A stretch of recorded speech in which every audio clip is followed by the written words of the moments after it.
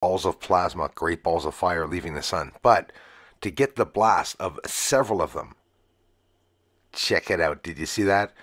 I just wanted to post that because this is amazing and I was never able to show it this way. I showed you one ball of plasma, but it was a big blast from the sun with my solar filter and the proper adjustment. Look at this. Watch it. Three, two, one. You see it coming off the bottom of the sun.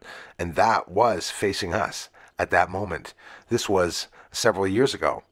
So watch the blast there coming from it. So, and then after that, to filter it, in that blast, we have this ball coming from the sun. So now we're looking at that. I've never shown um, this footage this way.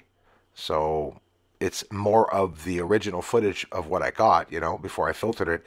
Uh, filtered it. That is not a small blast. You want to see more blasts like that and rare, exciting videos? You're in the right place. UFO disclosures happening here on the moon. Thanks for watching, everyone.